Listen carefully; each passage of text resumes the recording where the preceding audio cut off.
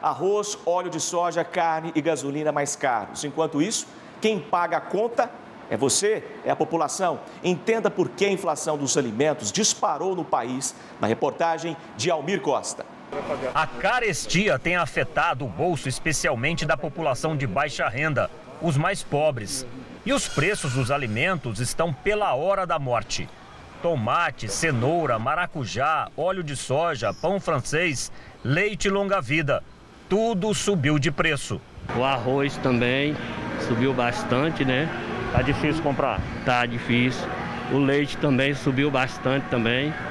Tá meio complicado, né? Vamos ver se passa essa epidemia aí para melhorar mais, né? Aumentaram tudo. Quase todos os ingredientes que a gente usa do dia a dia, né? O sabão, feijão, o arroz, açúcar, o, o óleo, o leite, tudo isso aí subiu. Subiu assustadoramente. Mas nada supera a situação do arroz. O item básico do cardápio do brasileiro, ao lado do feijão, que também está mais caro, não para de subir. Muito caro. Desse jeito não tem condição do salariado viver, não.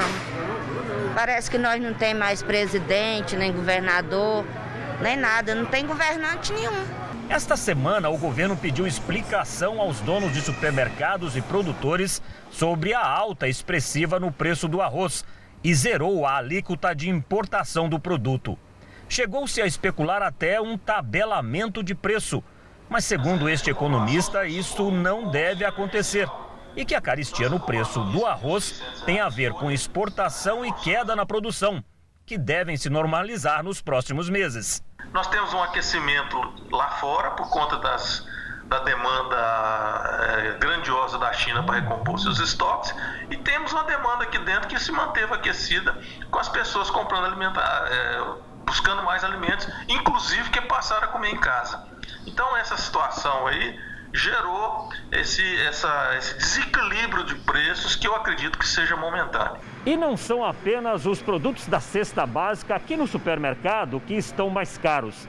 A inflação de agosto foi uma das maiores em Goiânia, puxada também pelo preço dos combustíveis. Apenas no mês passado, a gasolina subiu de preço mais de 10% na capital, a maior variação dos últimos 13 anos.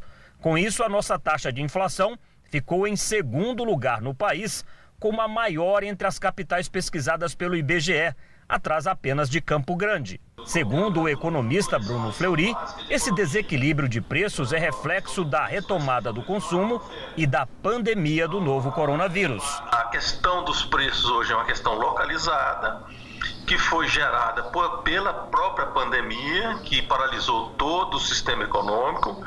Apesar da agricultura continuar funcionando, porque a, a maior parte da, da, produção agrícola hoje é mecanizada, automatizada, né, é digitalizada.